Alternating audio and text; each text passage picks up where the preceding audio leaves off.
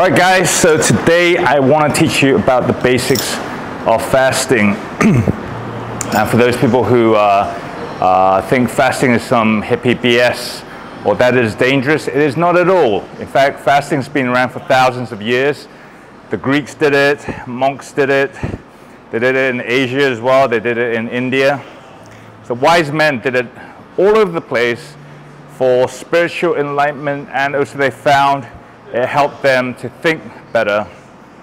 In fact, fasting is older than the English language because breakfast, first meal of the day, is literally two words break fast. Okay, it means that you have eaten again after the fast period from your last meal the night before. And fasting basically means a period of time where you haven't eaten food since the last meal. Now, if you are going to fast, there are, well, Let's talk about the benefits of fasting first of all. Number one, a lot of people are eating too much, so they're get, gaining weight. So fasting is a way to reverse that because you're literally not eating anything at all, so you have to burn your body fat reserves. Okay, so it's an extreme form of caloric deficit, but it is not starvation, all right? It is literally controlled starvation is what fasting is, just like exercise is a controlled form of stressing your body out to strengthen it. And uh, another reason why you want to do fasting is to regain insulin sensitivity. Now, a lot of people are getting sick as they're gaining weight because their body becomes resistant to their own insulin as a, a product of repeated sugar spikes from them eating a ton of carbohydrates or sugar throughout the day. So they're no longer resistant, uh, they're no longer sensitive to their own insulin, which means then um, they uh, might experience a lot more inflammation of the body. And uh, when they want to lose weight, their body is still producing insulin because the body is not reducing the blood sugar in their blood. So they find it very hard to lose weight because insulin blocks the burning of body fat, all right? So uh, increasing insulin sensitivity through fasting is very beneficial to people who might already be sick because they're overweight. And then the last reason, obviously, is to just uh, lose weight in general and keep better aesthetics. Now, bodybuilders generally don't um, go do fasting, right? They think it burns a ton of muscle so bodybuilders try to do caloric deficit while lifting heavy weights and eating a lot of protein to try and retain as much of the muscle as possible. Uh, but I uh, did an experiment a couple of weeks ago where I fasted and after 45 hours, my human growth hormone, which is uh, responsible for triggering tissue growth in children and also for tissue repair in adults, that shot up 1,700% as a result of me fasting. And that has an effect in trying to hold on to more muscle. Um, so I'm actually doing another experiment where I'm going to do fasting to uh, help me lose weight. So my caloric deficit is purely from fasting. And uh, on my exercise days, I'm just going to eat a small caloric surplus to make sure my muscles get enough protein and calories in total but on my rest days, I won't eat anything.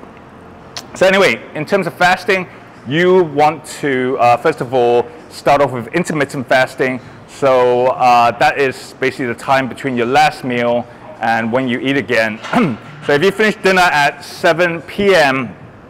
and you eat breakfast again at 7 a.m., then you have fasted for 12 hours. Unfortunately, ketosis, which is the burning of body fat, pretty much starts at 12 hours, okay?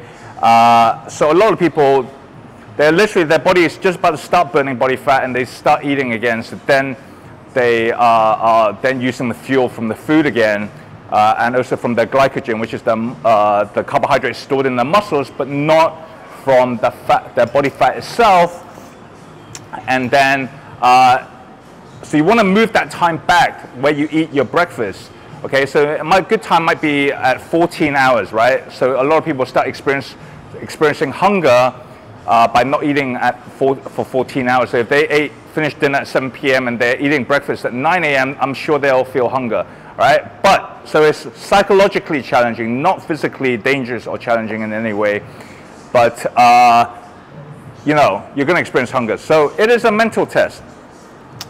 And at 14 hours, eat again, so 9 a.m., and then maybe push back by 15 minutes every day until you get to 16 or 18 hours before you eat. So that would be 11 a.m. if you finish dinner at 7 or, or 1 p.m.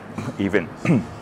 so you want to build up uh, your ability to fast through intermittent fasting, which a lot of people do anyway, just long term, all right? They just uh, don't eat uh, for long periods of time and eat in a small window, and they find it helps them to lose weight. Although uh, a lot of the mechanism, uh, the, a lot of the reason behind that is because by restricting how much time they eat, they're naturally eating fewer calories.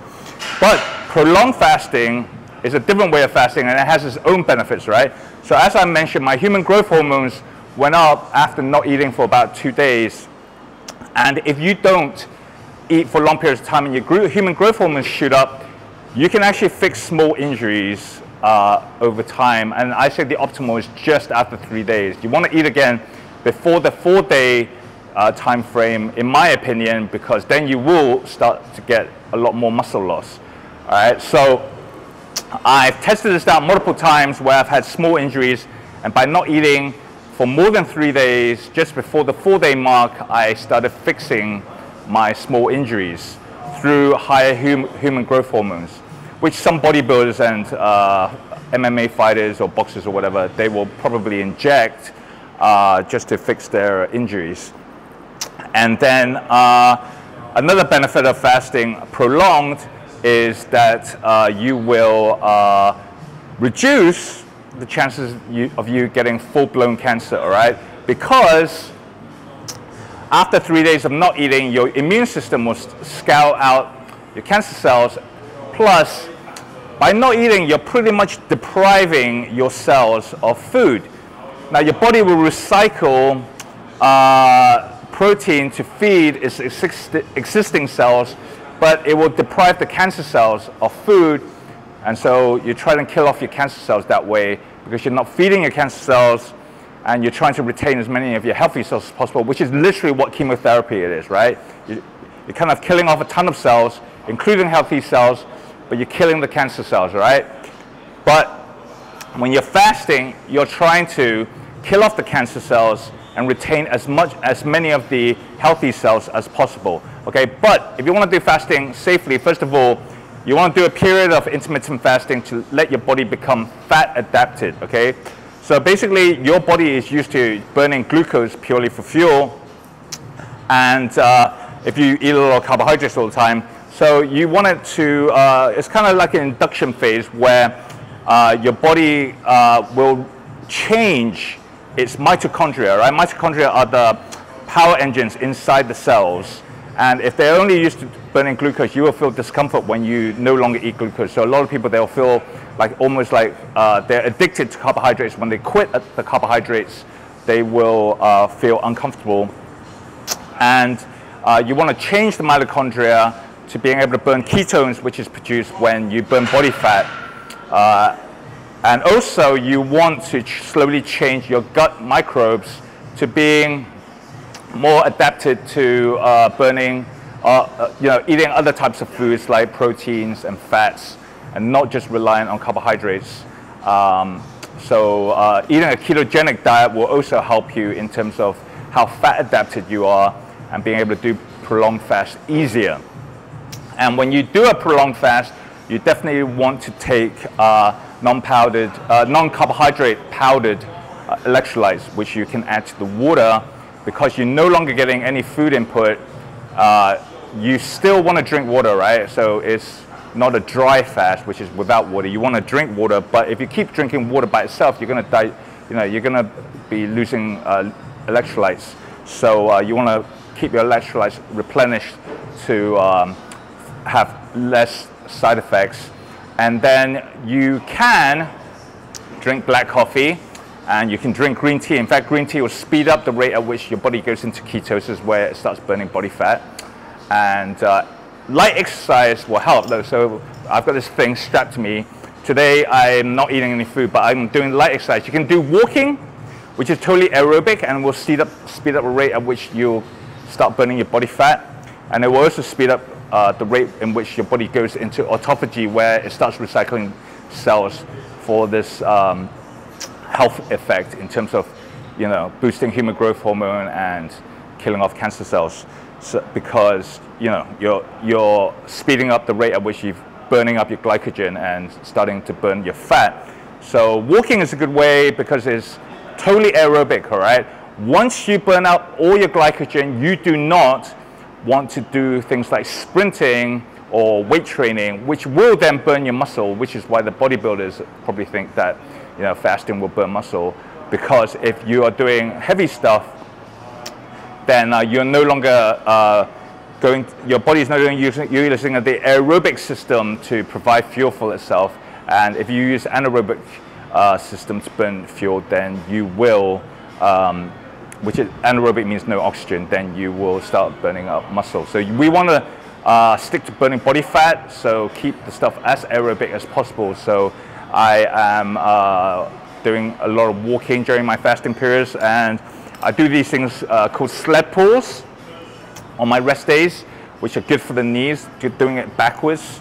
Um, so uh, if you have knee problems, maybe you want to learn this exercise from, from this video as well.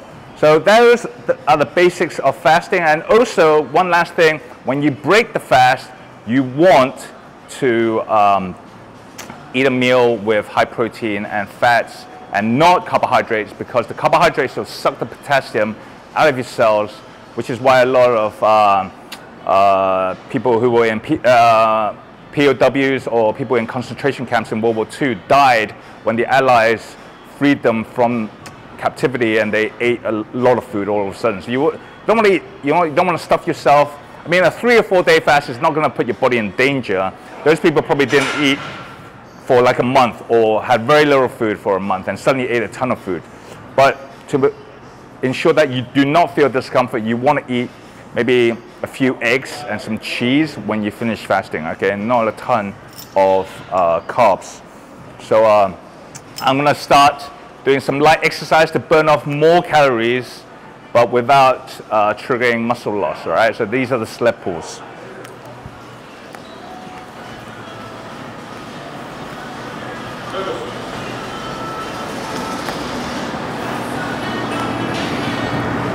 All right, guys, so if uh, you feel comfortable about the knowledge here, then um, try out intermittent fasting and prolonged fasting.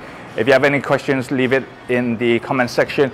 Do me a favor, subscribe to this channel so I can uh, give you more information about healthy living as I try to grow this channel.